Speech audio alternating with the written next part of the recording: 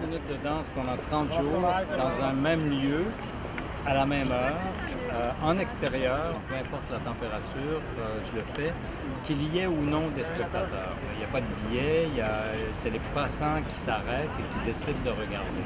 C'est un cadeau que je leur fais.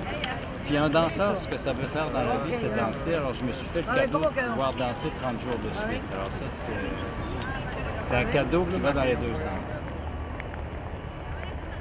faut que je sois extrêmement concentré. Et être concentré, ça ne veut pas dire être absent. Ça veut dire au contraire être hyper présent à tout ce qui est en train de se passer. C'est comme si j'avais des yeux tout autour de la tête.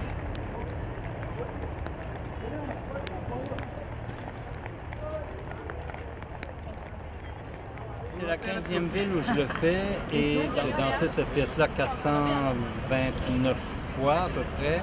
Euh, alors, euh, c'est sûr qu'entre la première fois et 429 fois plus tard, il y a quelque chose qui a évolué, qui a, qui a maturé, qui a grandi. Euh, donc, il semblerait que Paris soit la fin de ce projet pour moi.